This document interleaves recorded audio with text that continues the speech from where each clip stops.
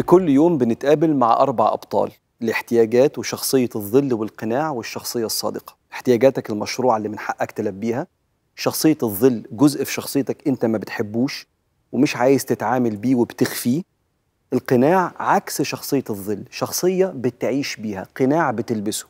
شايف إنك بالقناع ده هتعرف توصل لاحتياجاتك اللي من حقك إنك أنت تلبيها. لكن القناع ده ما بيكونش شخصيتك. بيكون ظاهرك غير باطنك بيبقى فيه ادعاء. وانت بتتعامل بالقناع ده انت مرهق ومرهق للي حواليك. الشخصية الصادقة هي شخصيتك الأصلية. اللي فيها من الصفات اللي تعرف بيها تلبي احتياجاتك المشروعة.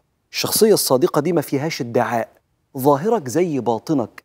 انت شايف ربنا وانت بتتعامل. تعيش بها صادق وتبعث يوم القيامة في ركاب الصديقين. وده هدف البرنامج إن شاء الله.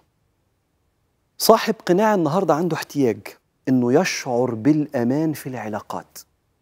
لا والأمان ده كلنا بندور عليه لما نحب حد سواء نحب راجل يحب ست الجواز أو يبقى عندنا أصحاب بنحبهم. لكن في حتة كده تربى عليها من صغره إن أنا لو ما اهتمتش قوي بحبيبي هيسيبني وهيلاقي حد أحسن مني يهتم بيه وأنا هتساب واترمي وأنا ما أحبش أبقى المهمش المهمل المتساب. فيقوم لابس قناع الخانق بالحب المتملك. الحب اللي ما فيهوش أمان بيسموه الحب الغير آمن.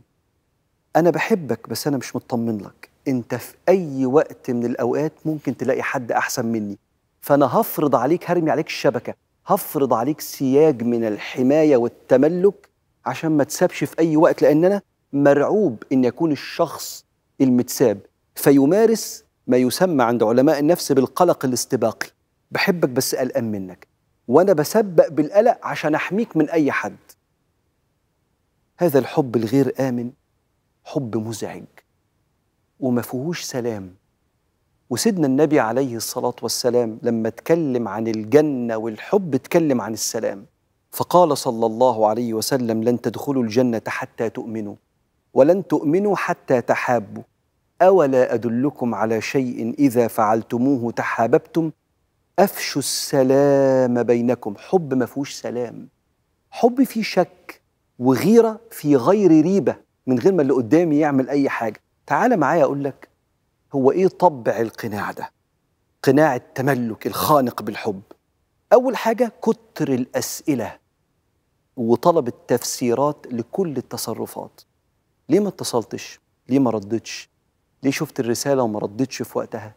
كنت بتعمل إيه؟ أنت ليه قلتي كده؟ أنت ليه ما سألتيش في الوقت ده؟ وكأن كم العتابات والأسئلة التفسيرية دي أسئلة واحد مش آمن وكأني في شيء لو سمحت قول لي طمني. هم بيقولوا كده علماء النفس بيقولوا إن كتر اللوم معناه إن في أماكن غير آمنة كتير محتاج إجابات أسكنها فاطمن هنا واطمن هنا واطمن هنا. آه تمام بحبك وطلعت أنت أمين عليا مش هتسيبني في يوم من الأيام. وكأن الآية نازلة للحال ده. يا أيها الذين آمنوا اجتنبوا كثيرا من الظن. إن بعض الظن إثم ولا تجسسوا.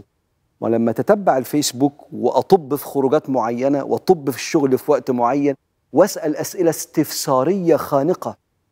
شيء من التجسس.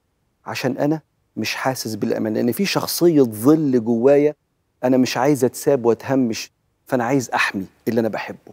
تاني بفكرك أنا بتكلم على الراجل والست المتجوزين أو حتى الأصحاب اللي مش حاسين بالأمان تجاه بعض. الطبع التاني اللي تسأل نفسك هل أنا حبي آمن ولا حبي متملك خانق؟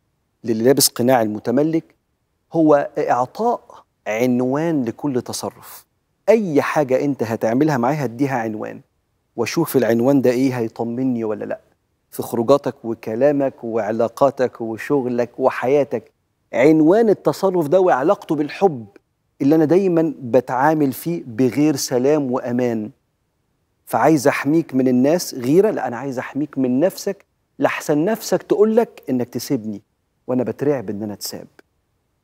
هذا القناع قناع الخانق بالحب قناع المتملك حمله تقيل جدا على صاحبه اللي ممكن يكون مخلص في حبه لكنه بيمارس الحب بطريقة ما فيهاش سلام وعلى المحبوب اللي بيدفع ثمن حب غير آمن.